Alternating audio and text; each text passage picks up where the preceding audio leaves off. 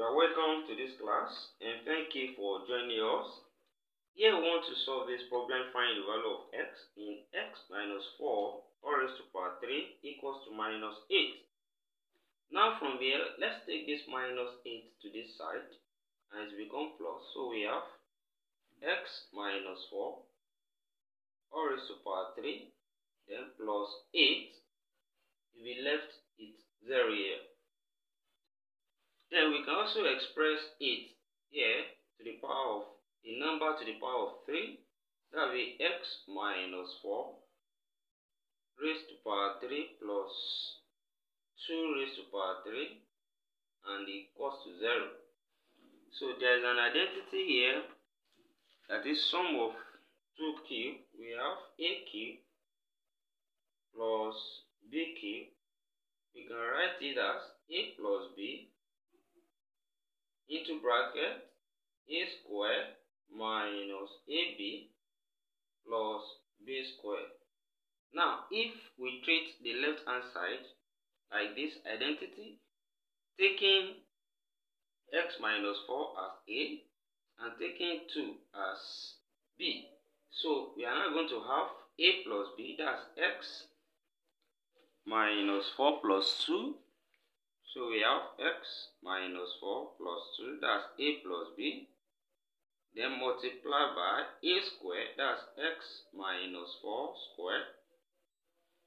Then minus ab, that's minus 2 times x minus 4. So we multiply a and b. Then plus b square, that is 2 square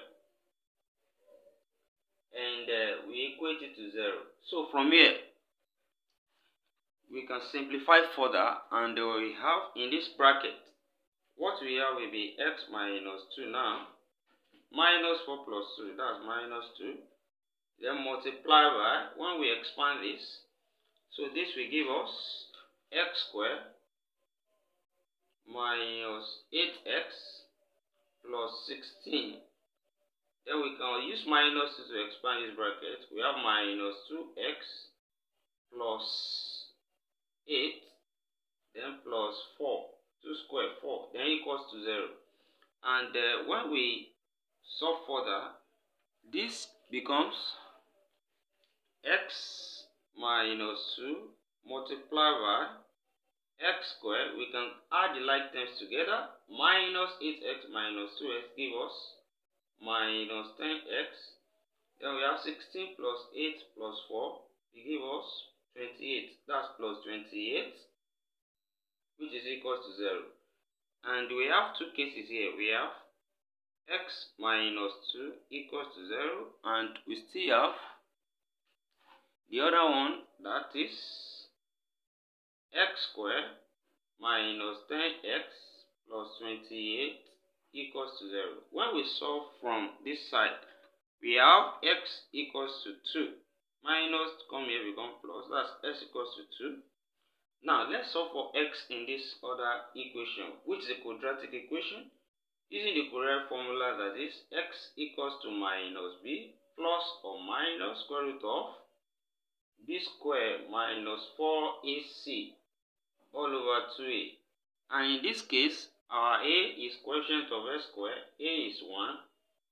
b is minus 10. From there, b is minus 10. And c is 28.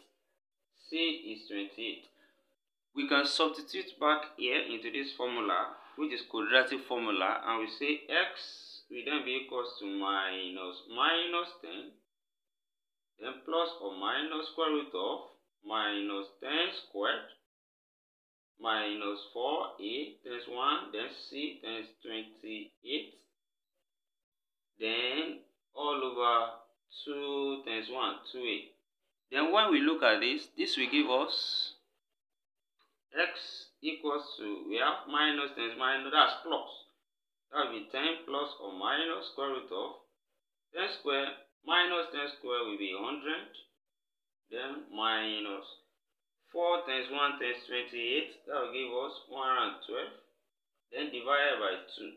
So here we have x equals to 10 plus or minus.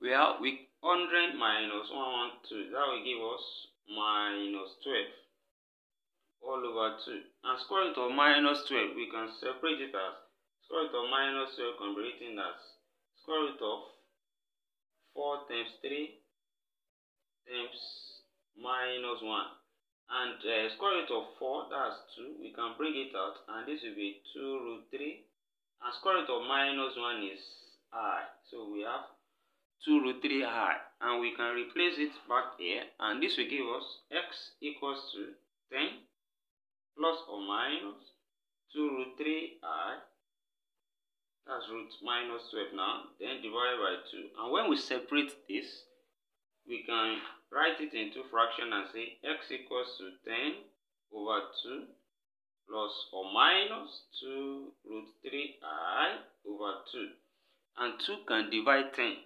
so 2 divided 10 we have 5. So this will be 5 plus or minus. 2 can cut to here. So remain root 3r. So we have this value of x which are two value imaginary roots there. So we can say that the first value of x we got, x1, is x equals to 2. And the second value from there, imaginary root, is 5 plus root 3i and we can say the third value of x give us 5 minus root 3i and here we have these three solutions one real and two imaginary. And we say thank you for watching. Don't forget to subscribe to this channel and turn the notification bell on for more of our videos see you in the next class. And bye for now